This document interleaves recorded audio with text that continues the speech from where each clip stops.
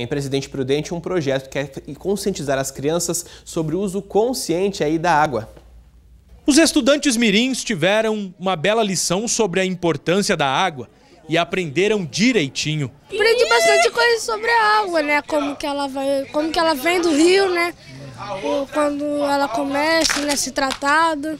Ficamos sempre no chuveiro, hum, lavar o carro, não com a mangueira, pegar um balde, colocar água. O aprendizado veio numa simples passagem por essa carreta que tanto chamou a atenção no Parque do Povo em Presidente Prudente. A intenção do projeto é fazer com que o conhecimento chegue até eles de uma forma interativa, né?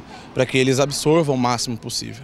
É, hoje a gente tem essa carreta e quando eles chegam aqui, eles só do, de olhar o tamanho da carreta eles já ficam impressionados.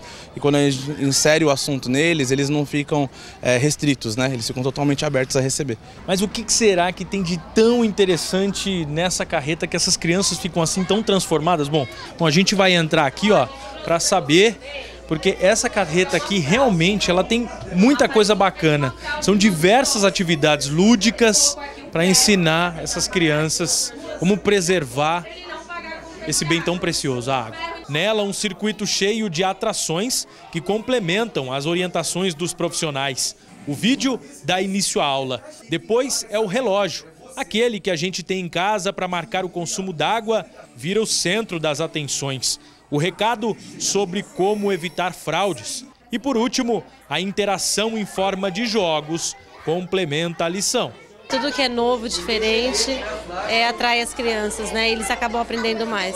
Aprendi o ciclo da água que, que faz todo o tratamento. Para finalizar o percurso, o óculos 3D impressiona.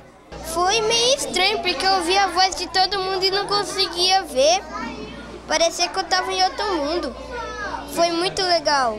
Em 30 minutos, os estudantes saem bem mais conscientes sobre o uso e a preservação da água.